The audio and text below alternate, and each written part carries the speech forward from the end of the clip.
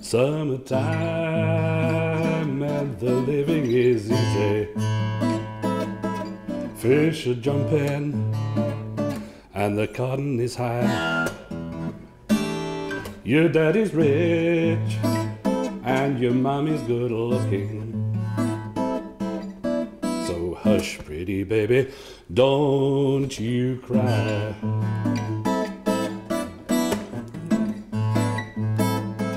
One of these mornings, you're gonna rise up singing. You're gonna spread your wings and take to the skies. And on that morning, there ain't nothing gonna hold you, babe. And papa by your side.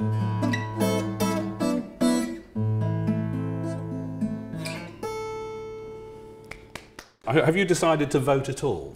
No, not yet. Not yet. So you want to be ignored? Yeah, well, mm, not necessarily. Right. So if you don't want to be ignored, you should vote for somebody because voting for nobody, people look at it and think, well, she doesn't really care, so we'll focus our efforts on other people. So what's important to you?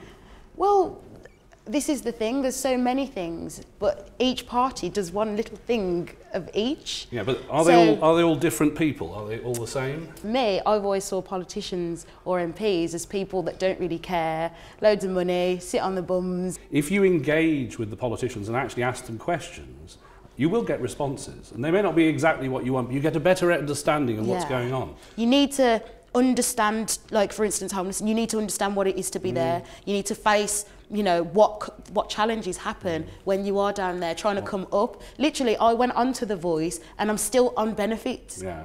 I haven't. Do you know Well, what I mean? I'm still. come- I've come off the show. Yeah. And I'm After- still going to have to face these challenges because I've not overcome it yet. Yeah. So I can't stand here and go, "Oh yeah, I've made it," Yeah. because it's not. It's not that easy. You Right. have to.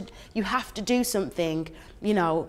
You have to kind of scrape yourself up. I don't get politicians and I don't get MPs saying, "Look, we're going to help you. We're going to take you here." You don't get that. You go Mm. to the job centre. You don't even get to use the phone to call the job that you want to apply for.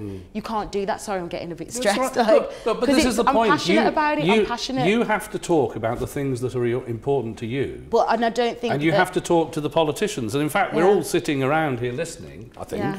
Is everyone listening? Yes, they're they're all Sorry, listening. I just. "Ooh." Yes, but the point is that we need a system that enables people with talents like yourself to get into work without being Mm-hmm. trapped in poverty by the benefit system. Like even though I've ranted, which I apologise for, I feel like I've attacked you a little bit. My apologies, but I still feel like I'm raising my concerns, but I don't think you Well, have an so-. You have an idea of what needs Yeah, I to have be an done, idea, etc. but it's, it's a matter of going through it in more detail. Exactly, You can't promise me a vote at the moment. No, no, no. Yes, But, yes. but, but have But, a um, think about it. Do at least vote. Promise me that you will vote. I'll on. look into it. Promise me you will vote. I'll look into Whoever it. you, you'll, Yeah, you'll vote for somebody. yeah, or, maybe. or turn up and Maybe. write rubbish on the ballot paper. God.